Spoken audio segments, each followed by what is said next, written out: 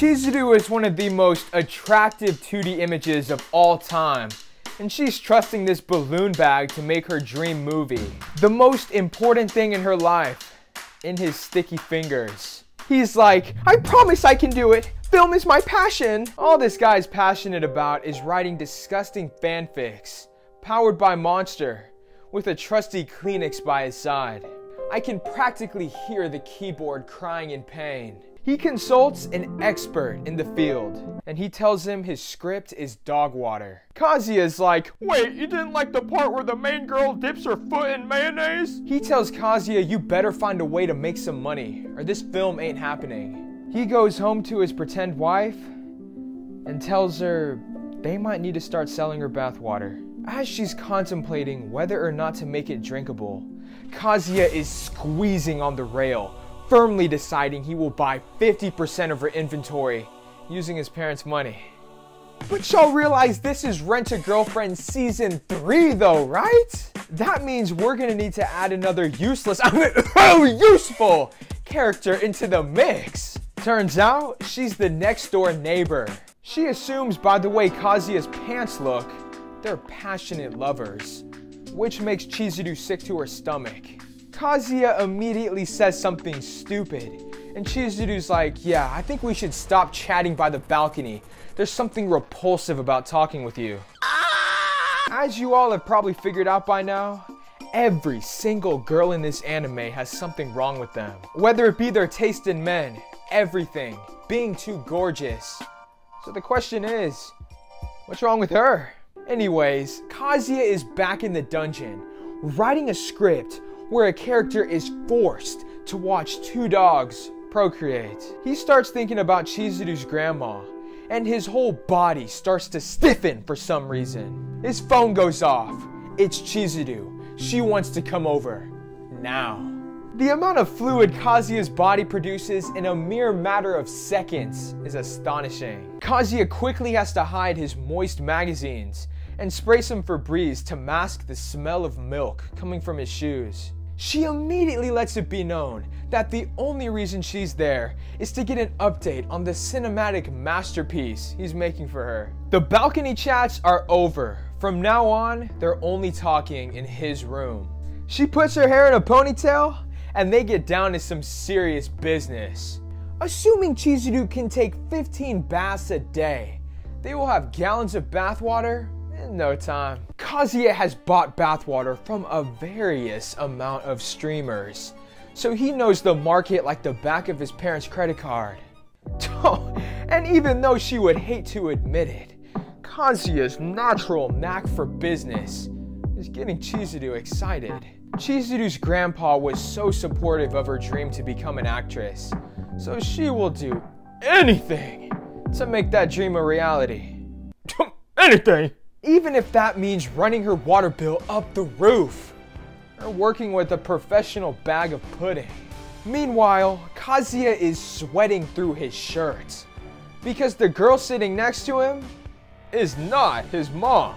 They need a cover photo to entice the lucky bathwater buyers. And boom! I think they're gonna crash the website day one. Kazuya starts having some second thoughts. After all, would it really be okay to let the public have access to his wife's bathwater? He starts throwing a tantrum and is on the verge of tearing up.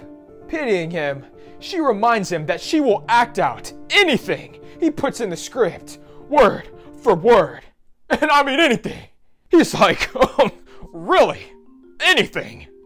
And she's like, anything millions of scenarios involving feet, grape jelly, rabbits, baby bibs, shoot all through Kazuya's mind in an instant. Chizuru's unwavering confidence in her film creator made him feel so encouraged, causing him to blush at the idea of the masterpiece they would make together. All of that jiggling and sweating caused his tummy to make a sound. So Chizuru goes into his kitchen and decides she's gonna whip him up some home cooking. All of Kazuya's senses are moving at a thousand miles per hour until Chizuru's like, ugh, why is your fridge full of empty milk cartons? And why are they warm and not cold at all? Kazuya bangs against his head. The opportunity to eat her home cooking was forever lost. All because he had to have fun with himself a few hours earlier. But then she's like, all good. I'll go grab some ingredients at my place and whip you up something. Dinner is served. Kazuya is looking at the food and her a bit weirdly though. He eats it really slowly and vigorously sucks on the spoon with every bite. And the whole time he keeps on making these weird sounds with his tongue and starts breathing heavier and heavier. Chizuru feels so uncomfortable and wants nothing more than to leave immediately. Then he starts staring directly at her as he starts making even more loud noises with his food. She's like, alright, I need to leave. As she's about to leave, Kazuya utters, I'm gonna spend the rest of tonight enjoying your dish. Chizuru doesn't know what to say. That wasn't even her cooking. She found it in the dumpster outside and threw it in her microwave. But he still cared so much about it because he thought she made it. As she begins to exit, they both find Ruka on the outside of the door. Ruka is basically in love with this balloon bag. I don't know why, but she is. So of course she is furious to see her greasy lover in the same room as a supermodel. Kazuya tries to explain himself, but whenever he makes physical contact with any woman other than his mom, his entire brain shuts down. So she starts ripping into Chizuru instead, telling her she broke the rent a girlfriend code. That code states you can go on a date with any disgusting pervert, so long as you leave early, charge double the intended price on his credit card, and make sure he walks home alone, ensuring he will spend the whole night smelling his hand. She forces herself into the room and gets a view of the omelet, the tissues, the bag full of tissues, and the greasy pillowcase. As the smell of milk begins to fill her nose, tears run down her face. Kazuya hits Ruka with the, it's not what it looks like. But Chizuru interrupts and says they need to have a three-way talk together. Little do they know, their neighbor heard the entire conversation. She's wondering what in the heck a rentable girlfriend is. She's sick and tired of spending her days working at Burger King, feeling those thirsty customers staring at her name tag, pretending like it's hard to read her name. That's disgusting. She's tired of that, and she's ready for some of that little baby money. Back inside the apartment, Chizuru is trying to defuse the situation. She's explaining to Ruka all they were doing in that room was having a elaborate business conversation about selling bathwater and that she will never ever again cook for her man ever again. Ruka is still pretty bothered, so Kazuya drops to his knees and begs her to not spit on him again, just like she did the last time she was mad at him. Ruka says she won't, but on one condition she gets to help with the movie too. They are both taken aback by this request. Ruka does not like the idea of them being alone together. Chizuru tries to explain that she would rather lick her uncle than get anywhere near Kazuya romantically, but Ruka doesn't buy it. Kazuya's heart is racing. These meetings are the only time he can smell Chizuru in a condensed area which really allows him to soak in all the flavor. He does not want to give this up. However, Kazuya has never won an argument in his life, and that holds true here too. After crushing any chance Kazuya had to get to touch Chizuru without spending money, she has the audacity to ask Kazuya, Whose cooking do you like more? Hers or Chizuru's? This guy's bewildered.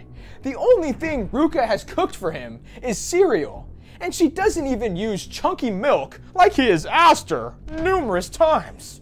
Kazuya wants to say the omelet so bad, but he knows if he does, Ruka will drink all of the bathwater before anyone can buy it. he gives in though, and he tells her he finds her home cooked cereal delicious. Ruka has spent years trying to make her signature dish correctly Cinnamon Toast Crunch. So she gives Kazuya a warm embrace as tears begin to form. Kazuya is actually allergic to cinnamon, but it's all good. He just puts ointment on his rashes afterwards, so like, sucks to suck. Feeling a strong sense of superiority, Ruka shoots a glare at Chizuru, who truly doesn't give a flip whether or not Kazuya liked what she found in the dumpster outside. Chizuru abruptly leaves, but for some reason, as she's standing outside listening to Ruka spit on Kazuya, even after she said she wouldn't, she feels a sense of envy. Look, even if she found the omelet in the garbage, she still cooked it in her microwave. She still served it on her plate and she still put some of her toenails in it. There's no way she could have lost to Ruka in a cooking competition. Ruka can't even read, let alone cook. As she wanders back into her apartment, she decides she will put Ruka in her place once and for all. Hey, ooh, I hope y'all enjoyed. I'm still figuring this new style out. Please hug the like button, comment your favorite cereal, Y'all have a blessed day.